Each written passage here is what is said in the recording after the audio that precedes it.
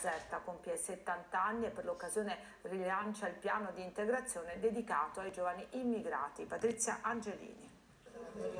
Tornano sui banchi di scuola dopo 70 anni, motivo l'anniversario del villaggio dei ragazzi realizzato nel dopoguerra dal sacerdote campano Don Salvatore D'Angelo. Ci sistemammo in una caserma diroccata nell'immediato dopoguerra.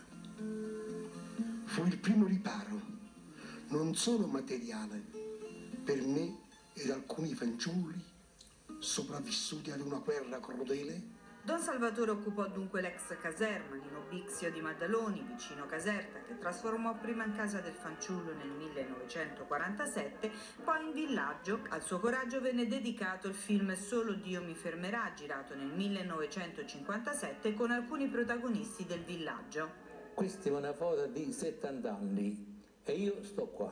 Questa è una foto del 1947 e io sto qui.